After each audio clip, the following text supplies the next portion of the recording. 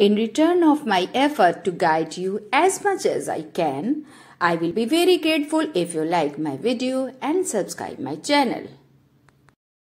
Hello everyone welcome to Suman suggestion आज मैं इस वीडियो में आपको वॉशिंग मशीन में ब्लैंकेट कैसे धोते हैं कंबल कितना धो सकते हैं और किस तरह धोते हैं पूरी डिटेल में आपको इस वीडियो में दिखाऊँगी इस इशू पे बहुत सारे रिक्वेस्ट मुझे आए थे बहुत दिनों से कि मैं वीडियो बनाऊँ। Sorry for delay my viewers viewers आपसे रिक्वेस्ट है कि इस वीडियो को आप टिल द एंड देखिए क्योंकि मैं केवल कंबल ही धोने को नहीं इसमें बहुत कुछ आपको इम्पोर्टेंट इन्फॉर्मेशन भी साथ साथ देती रहूँगी।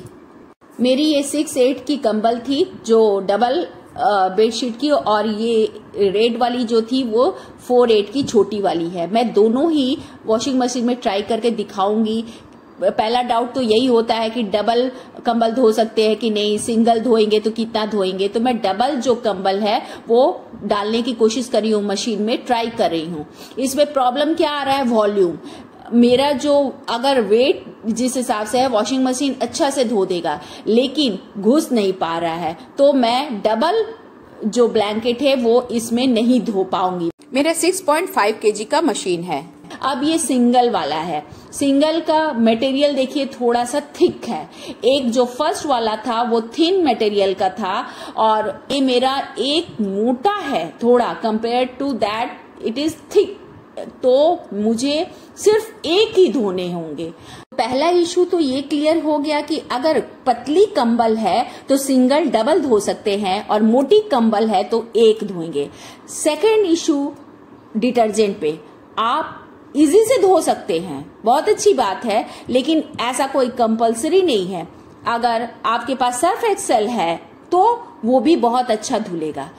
अब थर्ड इशू क्वांटिटी मैं देखती हूँ कि कुछ लोग होते हैं जो क्वांटिटी पे बिल्कुल ध्यान नहीं देते हैं। भर भर के वो डिटर्जेंट या इजी दे देते हैं कि उनका जो वॉश होने के बाद भी पूरा सर्ट्स पड़ा रहता है। मतलब ढेर सारा झाग बन जाता है। जो कि वो लास्ट तक रहता है। नहीं उससे क्या होता है?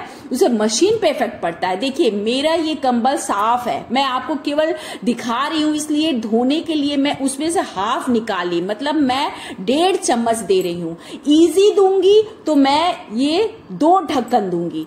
अगर आपका ज़्यादा गंदा है तो थोड़ा बढ़ा दीजिए क्वांटिटी लेकिन हमेशा आप डिटर्जेंट या इजी दीजिए तो नाप कर दीजिए। कभी भी स्कूप है स्कूप से डिटर्जेंट दीजिए लिक्विड है तो लीड से दीजिए। अब मैं ये स्टार्ट कर दी। मैं देख रही हूँ, एक वूल पे ले जा रही हूँ। वूल है मेरा 40 डिग्री टेम्परेचर हो गया, ये ऑटोमेटिक सेट हो जाता है और स्पिन 800 पे हो जाता है। 53 minute it takes to wash तो मुझे कुछ भी चेंज नहीं करना है, मैं स्टार्ट कर दे रही हूँ। तो कंक्लूजन इज़ दैट कि सिक्स के की मशीन सिंगल ब्लैंकेट ही धो पाएगी। हाँ जो एक एसी की आ, होती है ब्लैंकेट एकदम थीन मटेरियल वो दो आप धो सकती हैं। इनफैक्ट अगर दो नहीं है तो उसको बैलेंस करने के लिए आपको एक्स्ट्रा कपड़े रखने पड़ते हैं। अदरवाइज़ मशीन थोड़ा ज़्यादा शेकिंग करने लगती है। फ्रेंड्स मेरे आपसे एक यही शिकायत है कि आप भर भर के लाइक करते हैं। मेरे इतने सारे व्यूअर्स है, उसके वन टेंथ टाइम्स भी अगर मुझे वो सब्सक्राइब करें ना तो आज मुझे बहुत खुशी मिलती और मुझे काम करने का बूस्ट मिलता। Yes it was my mistake that initially I didn't take it professionally और मैंने आपको हर दो सेंटेंस में प्लीज़ सब्सक्राइब कीजिए प्लीज़ सब्सक्राइब कीजिए, नहीं कहा था बट आज के ये मेरे देखने वाले व्यूवर्स इतने इंटेलिजेंट है। फ्रेंड्स आपसे रिक्वेस्ट है कि आपको अगर कोई भी राइट इन्फॉर्मेशन मिलता है, आप लाइक करते हैं that means you like my video and you give me credit तो प्लीज़ सब्सक्राइब कीजिए कि मैं और इसके लिए टाइम दू रिसर्च करूँ और आपके पास राइट इन्फॉर्मेशन लेकर आऊँ। चलिए, बहुत बकबक कर ली, लेकिन मेरी इस बात को सीरियसली लीजिएगा। I feel very sad please my viewer subscribe my channel मैं देखती हूँ कि जो हर दो दो लाइन पे बोलते हैं सब्सक्राइब कीजिए, वे सब्सक्रिप्शन पाते हैं। बट मैं न सब्सक्रिप्शन के बारे में बोली हूँ, न आपसे रिक्वेस्ट करती हूँ तो मुझे कोई सब्सक्राइब भी ना करे। दैट इज़ नॉट फेयर चलिए अब मैं इस इशू पे आती हूँ कि इसको साफ़ करने के लिए देख रहे हैं ना मैंने मेरे ये पूरे एकदम साफ़ कंबल है। आ, आपको ये पानी से दिख रहा होगा कोई गंदगी नहीं है लेकिन कोई आपको इसमें सर्ट्स नहीं दिखेंगे। यानी झाग नहीं दिखेगा।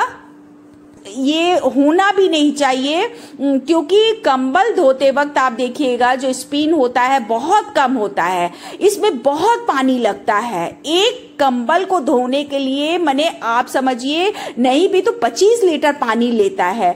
तो अगर आप उसमें भर के डिटर्जेंट दे देती है या इजी दे देती है तो समझिए मशीन को कितना काम करना पड़ता है। और फिर लास्ट में वो पूरी तरह साफ़ भी नहीं होता है उसमें सर्ट्स रह जाते हैं। तो आप राइट अमाउंट में डिटर्जेंट देकर और इस तरह वॉशिंग कर सकती है। और जहाँ तक लोड का सवाल है, वो सिक्स के का आपका वॉशिंग मशीन है। तो इजीली आपका दो ब्लैंकेट अगर घुस सकता है उसमें तो धो लेगा।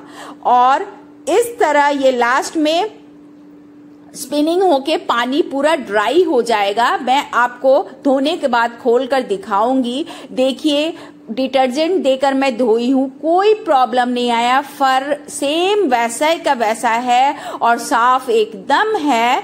देखिए ये साफ़ हो गया है। हम्म, और सूखा सूखा भी हो गया। बस इसको दो घंटे आप हवा में दे देंगे ना तो एकदम पूरा अच्छी तरह से आप रख सकते हैं। और ये देखिए फर पूरा कुछ भी नहीं हुआ है। ऐसे के ऐसे ही है। मुझे भी स्टार्टिंग में जो कंफ्यूजन हुए थे, उसी टॉपिक पे मैं ज़्यादा कंसंट्रेट होकर ये वीडियो बनाई हूँ। I think this video must be helpful for you मैं काफ़ी रिसर्च एंड स्टडी करके वीडियो बनाती हूँ। Keeping that in mind please my viewers you can thank me by subscribing my channel stay healthy and happy thanks